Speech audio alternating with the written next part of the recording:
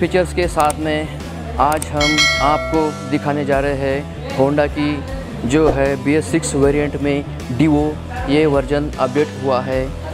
तो आज हम आपको होंडा की डीवो जो है बी एस सिक्स वर्जन इसके बारे में आपको रिव्यू देने जा रहे हैं। तो स्वागत है दोस्तों आपका, आपके अपने चैनल टिकू टॉक में।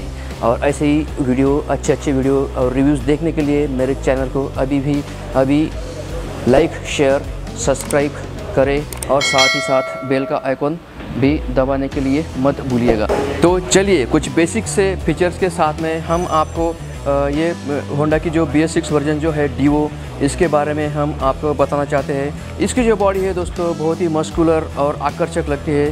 तो इसके रिगार्डिंग मैंने जो होंडा की जो इससे पहले जो थी ग्रेजिया तो ग्रेजिया के बारे में भी मैंने आपको ये आई बटन में लिंक दे के रखी है। उसके भी फीचर्स आप देख लीजिएगा दोस्तों। तो जैसे कि हम आपको बताना चाहते हैं कि ये जो होंडा की जो डीवो है बी एस सिक्स वेरियंट तो इसमें दो वर्जन लॉन्च हुए एक डिलेक्स है और एक स्टैंडर्ड मॉडल है दोस्तों। तो डिलेक्स और स्टैंडर्ड के जो बेसिक से जो फ़ंक्शन है, दोनों में जो डिफरेंस है, हम आपको यहाँ पर ब्रीफ में बताने जा रहे हैं। तो आप देखते रहिएगा। तो चलो, पहला फ़ंक्शन हम आपको दिखाते हैं। इसमें जो एलईडी जो डिलक्स वर्जन है, उसमें एलईडी आता है और अदरवाइज़ जो स्टैंडर्ड वर्जन है, इसमें ये लैम्प जो आता है, ये हेलोजन आता है। जो मीटर कंसोल है तो मीट मीटर कंसोल के बारे में हम आपको बताना चाहते हैं। तो ये जो स्टैंडर्ड स्टैंडर्ड जो वेरिएंट होता है, उसमें ये आता है एनालॉग मीटर कंसोल आता है, वही दूसरी और ये पूरी तरीके से डिजिटल मीटर कंसोल आता है दोस्तों। तो उसके बाद में हम इसका जो माइलेज फीचर जो आता है तो ये डिलक्स में आता है, ये स्टैंडर्ड वेरिएंट में नहीं आता है, क्योंकि इसमें जो दिया गया है, ये डिजिटल एनालॉग मीटर है तो इसकी वजह से हम, हमको यहाँ पर माइलेज फीचर्स भी मिलता है कि हमको इस स्कूटर का माइलेज कितना मिलने वाला है, ये भी हमको यहाँ पर दिखाई देता है। उसके बाद यहाँ पर जो आता है एलईडी पोजीशन लैंप तो एलईडी पोजीशन लैंप जो है, देखिए ये जो है बहुत ही आकर्षक यहाँ पर दिखता है। तो ये इसको एलईडी पोजीशन लैम्प बोलते हैं और ये जो है थोड़ा सा ऐसा लगता है कि यहाँ पर भी है।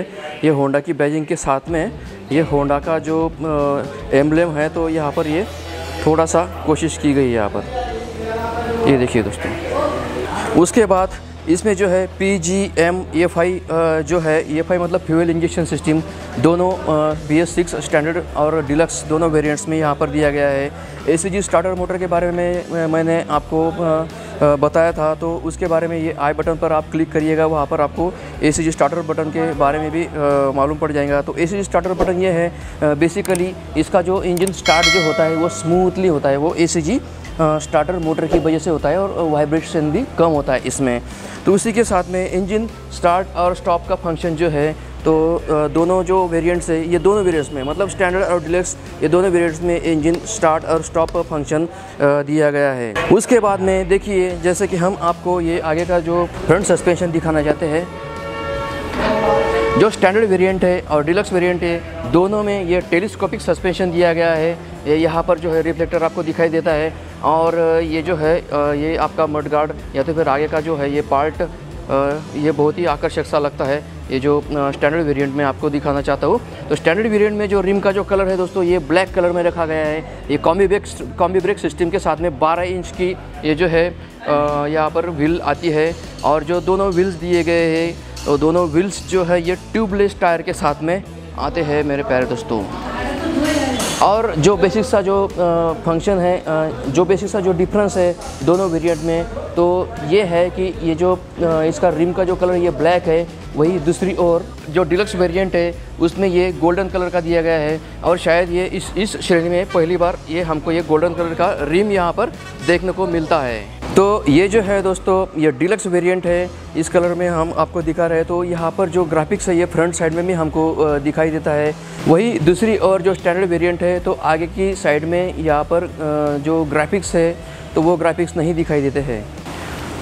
दोनों ही बी एस मतलब स्टैंडर्ड और जो डिलक्स वेरिएंट है, दोनों में यहाँ पर जो फ्यूल लीड है ये एक्सटर्नल मिलते हैं। मतलब हमको सीट से उतरने की यहाँ पर ज़रूरत नहीं है दोस्तों।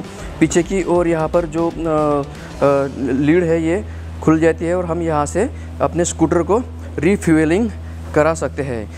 तो मेरे प्यारे दोस्तों, ये जो है डिलक्स और स्टैंडर्ड दोनों में एक डिफरेंस और सर्विस ड्यू इंडिकेटर का भी है। तो ये जो है सर्विस ड्यू इंडिकेटर ये सिर्फ़ डिलक्स वेरिएंट में आता है। तो डिलक्स वेरिएंट में इसलिए आता है क्योंकि इसमें डिजिटल कंसोल मीटर भी दिया गया है। तो यहाँ पर हमको जो है ये डिजिटल कंसोल मीटर में यहाँ पर हमको सर्विस इंडिकेटर दिखता है। तो सर्विस इंडिकेटर क्या होता है दोस्तों? जैसे कि हमारी बाइक जो स्कूटर जो है स्कूटर या बाइक हम लेकर घूमते हैं तो पर्टिकुलर किलोमीटर्स के बाद में या तो फिर या दो या तीन महीने जो वैलिटी हो वैलिटी होंगी, उसके बाद में हम हमको अपने बाइक्स की रेगुलर या तो स्कूटर की रेगुलर सर्विसिंग करानी पड़ती है। तो इसके लिए हमको कभी कभी याद नहीं होता है तो ये जो है बाइक ये ऑटोमेटिकली जो इसका डिलक्स वर्जन है तो डिलक्स वर्जन में हमको सर्विस ड्यू इंडिकेटर यहाँ पर स्टार्ट होना शुरू हो जाता है। तो दोस्तों जो बेसिक सा जो फ़ंक्शन है और ये है इसका साइड स्टैंड इंडिकेटर का, ये साइड स्टैंड इंडिकेटर जो है, ये डिलक्स वेरिएंट में आता है, वही दूसरी और स्टैंडर्ड वेरिएंट में ये साइड स्टैंड इंडिकेटर नहीं दिखता है। तो साइड स्टैंड इंडिकेटर मतलब क्या?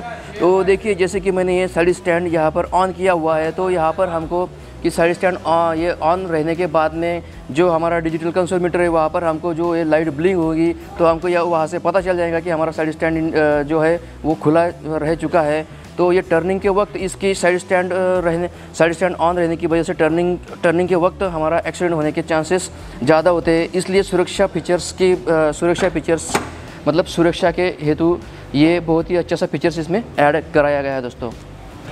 साथ ही साथ में दोनों जो वेरिएंट्स है, ये जो है ग्राफिक्स ये ग्राफिक्स भी पूरी तरी, पूरी तरीके से चेंज किया गया है। तो आप यहाँ पर देख सकते हो, जैसे कि Honda eco technology B S six variant उसके बाद में ये जो है ई एस पी यानी इन्हांस्ड स्मार्ट पावर सिस्टम तो और जो सस्पेंशन दिया गया है दोनों में तो आप यहाँ पर पीछे से देख सकते हो, ये एक ही सस्पेंशन दिया गया है और ये जो है थ्री स्टेप एडजस्टेबल सस्पेंशन हमको दोनों वेरिएंट्स में दिखाई देता है।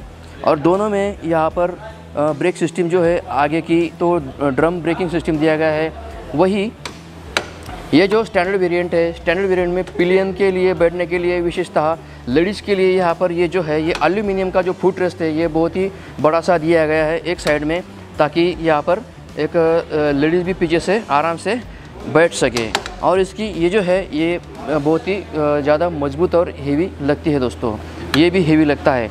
और जो यहाँ पर फुट रेस्ट जो है, पीछे के पिलियन के लिए तो ये फुट रेस्ट जो होता है तो फुटरेस्ट जो होता है वो देखिए यहाँ पर ये रबर का फुटरेस्ट दिया गया है। ये देखिए, मैं आपको ये टच करके दिखाता हूँ।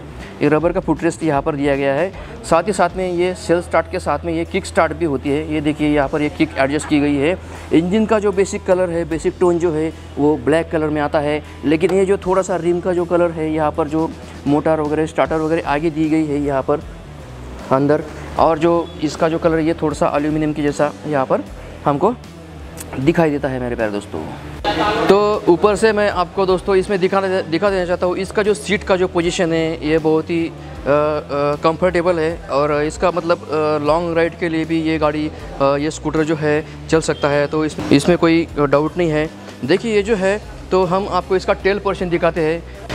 तो ये जो है यहाँ पर हमको जो ग्रैब हैंडल जो है, ये भी ऑरेंज कलर में मिलते हैं और होंडा की जितनी भी स्कूटर मैंने देखी है, उनका जो है ये जो फ्यूल रिफिलिंग का जो टैंक है तो ये टैंक जो है, ये पीछे की ओर ही ज़्यादातर दिया गया है और ये ग्रैब हैंडल भी बहुत ही अच्छा यहाँ पर एडजस्ट किया गया है। बहुत अच्छा लगता है ये। तो जो हम टेल पोर्शन में आपको ये जो लाइट्स है, ये दिखाने वाले हैं, दोस्तों, देखिए। तो ये इसका टेल पोर्शन है। तो टेल पोर्शन में दोनों तीनों, ये जो टेल पोर्शन है जो ब्रेक लाइट्स और इंडिकेटर लाइट्स, ये हेलोजन लाइट्स दिया गया है यहाँ पर। ये छोटा सा रिफ्लेक्टर यहाँ पर दिया गया है और ये जो पीछे है, ये होंडा की ब्रेजिंग के साथ में और नंबर प्लेट के लिए यहाँ पर जगह। तो देखते हैं इसके साइलेंसर को। तो साइलेंसर में भी बहुत सारे चेंजेस किए गए हैं। यहाँ पर जो साइलेंसर हमको मिलता है, ये पूरा, ये पूरी तरीके से ब्लैक टर्निंग मिलता है। लेकिन ये जो मफलर है ये मेटल का है। ये हालाँकि ये भी मेटल का है, लेकिन दोनों की फिनिशिंग अलग अलग तरह से यहाँ पर हमको दिखाई देती है। और साथ ही साथ में यहाँ यहाँ पर ब्लैक टोनिंग जो है इंजन का ये अच्छा यहाँ पर बहुत ही ब्यूटीफुल लगता है। लुक भी इसका बहुत ब्यूटीफुल लगता है। और ये है साइड पैनल ए फुटरेस के साथ में, जो कि है रबड़ का। ये देखिए दोस्तों। तो चलिए, अब हम इसके स्विचेस और इंडिकेटर्स के बारे में बात कर लेते हैं। तो ये जो है दोस्तों, मैं आपको दिखाने जा रहा हूँ, ये स्टैंडर्ड वेरिएंट है। जैसे कि यहाँ पर आप देख सकते हो ब्रेक ब्रेक क्लच और एक्सीटर यहाँ पर बहुत ही अच्छे तरीके से यहाँ पर एडजस्ट किया गया है। ये रबर की ग्रिप हमको यहाँ पर मिलती है, बहुत ही कंफर्टेबल लगता है पकड़ने में इसको।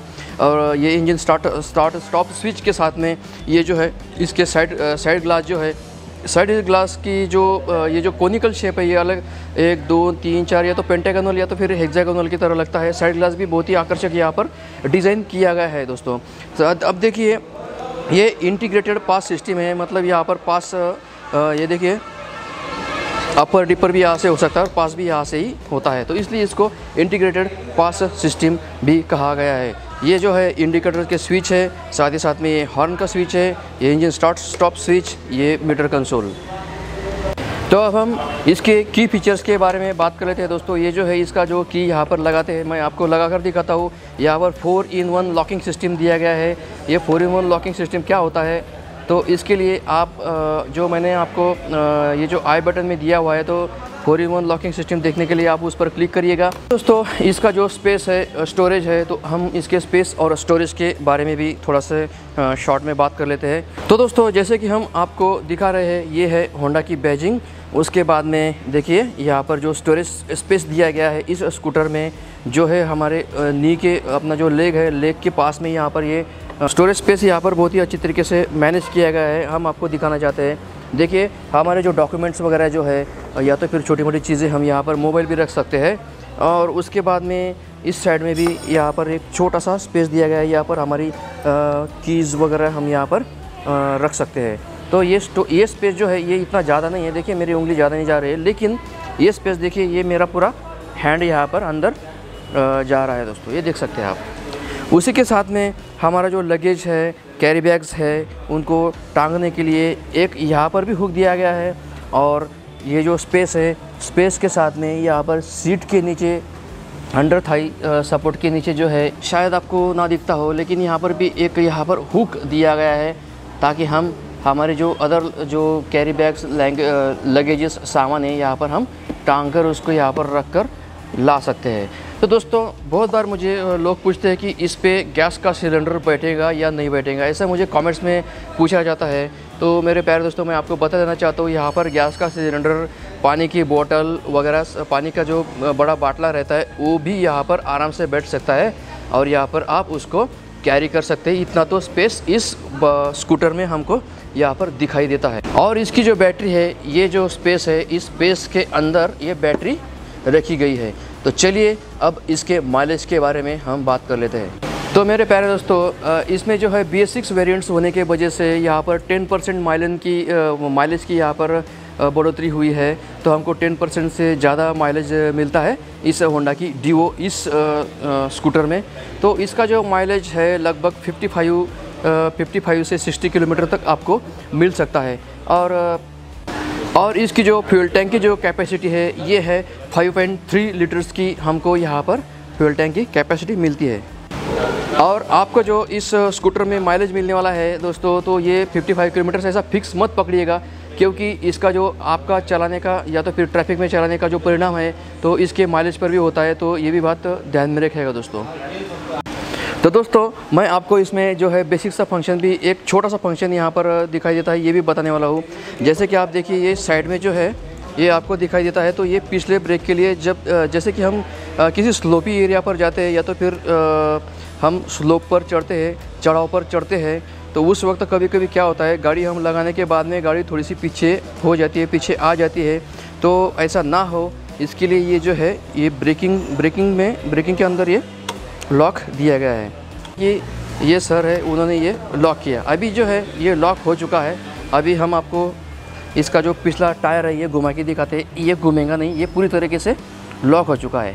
ये ये जो हम कार में जो फ़ंक्शन देखते हैं हैंड ब्रेक की तरह यहाँ पर वर्किंग करता है तो ये फ़ंक्शन भी बहुत सारे स्कूटरों में ऐड कराया गया है। अभी जैसे कि उसको हम अगर ऑनलॉक करेंगे तो ये स्टेपनी यहाँ पर घूमने लगेंगी। तो चलिए हम आपको दिखाते हैं कि इसको ऑनलॉक कैसे करते हैं। तो सिंपल सा टेक्निक है उसके लिए ये इसको पीछे से ऐसा खींच लीजिए ये अनलॉक हो चुका है। अब हम आपको दिखाते हैं कि ये स्टेपनी घूम रही या नहीं घूम रही है? देखो, ये पिछला पहिया अभी घूमने लग गया। है तो ये लॉक अनलॉक सिस्टम कार की तरह यहाँ पर हमको देखने के लिए मिलता है। ये बहुत ही अच्छा फीचर्स मुझे लगा दोस्तों इस स्कूटर में, क्योंकि बहुत बार ऐसे हो जाते हैं कि गाड़ी पीछे पीछे की ओर या तो फिर आगे की ओर चली जाती है। तो शायद हम स्टार्ट करने से पहले ही ऐसा हो जाता है। तो बहुत सारी परेशानियों का सामना करना पड़ता था।